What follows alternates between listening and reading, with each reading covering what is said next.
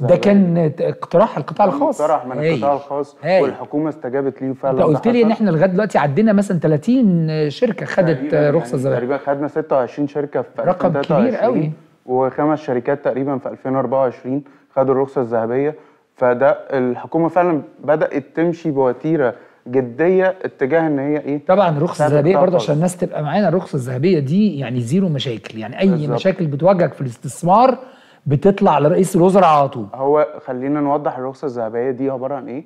الرخصة الذهبية هي موافقة واحدة بتاخدها الشركة إنها تبدأ المشروع بتاعها بسرعة جدا إنها تقدر تشغله إنها تقدر آه، آه، تاخد كل الرخص المتاحة والحاجات اللي هي محتاجاها عشان تبدأ المشروع بتاعها.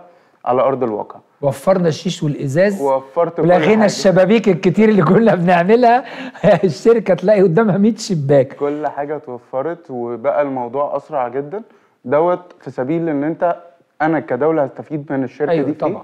إن أنت تقيم مشروع استراتيجي أو توسع استثماراتها بالظبط. عندك آه طيب الدولة دوت برضه هتستفيد من إيه لما تقيم است... آه... تعمل مشروع استراتيجي دوت طبعا هيرجع على المواطن طبعا. هيرجع على الدولة طبعا. هيرجع إن الشركات دي اللي هتيجي تاخد رخص دي عايزة تصدر يعني النهارده مثلا كنا بنتكلم عن مؤتمر الطاقة في الفقرة اللي فاتت وفي فقره الأخبار أخبار كتير. مؤتمر الطاقة ده أنت النهارده لما تعمل رخصة ذهبية للاباتشي البريتش بتروليوم لإيني للشركات العابرة للقارات دي أنت اللي كسبان أكتر منهم. وهتوفر لك حاجات كتير هي... يعني لما يجي يصدر هو هيص...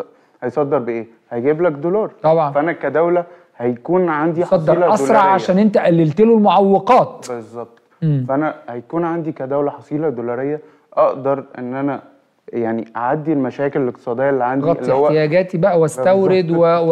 والديون وخدمات الديون لغاية لما يوصلوا الجدولة مع الجهات المانحة دي. بالظبط. فإحنا دلوقتي دور الدولة إحنا فعلا شايفينه إن هو بقى موجود بشكل جدي أكبر. طب هل المؤتمر خلص كده؟ يعني في مخرجات نقدر نحط ايدينا عليها ولا لم تعلن بعد يعني؟ هو لم تعلن طبعا بس من ضمن المخرجات اللي إحنا ود- يعني نقدر نوصل لها دلوقتي اهتمام الدولة لثلاث مجالات مهمين جدا. هو القطاع الصحي قطاع التعليم قطاع الزراعة. اللي هو ما كانوش تقريبا موجودين على الأجندة في في في ولما. كانوا موجودين كانوا موجودين مش ب- بس مش, مش, بالأهمية اللي موجودة ومش دلوقتي. بمعلوميه القطاع الخاص بالظبط. اللي ممكن يدفعهم للأمام بسرعة وبقوة. لا ودلوقتي كمان بدأ يبقى في اتجاه كبير قوي أو تركيز كبير من القطاع الخاص اتجاه السياحة. آه. دلوقتي اتجاه السياحة فيه فرصة استثمارية كبيرة جدا. آه. بدأ القطاع الخاص يركز فيه. من ضمن دوت ده بسبب إيه؟ بسبب إن الحكومة بدأت آه يعني تبين أو تعرض أماكن جديدة إن أنت كقطاع خاص تقدر تاخدها هي مش مستغلة زي آه، وزارة الخارجية مثلا آه. اللي على كورنيش النيل وزي آه دي معروضة دلوقتي معروضة من خلال. الصندوق طبعا اللي هو بتاع مصر مصر السيادي. السيادي طبعا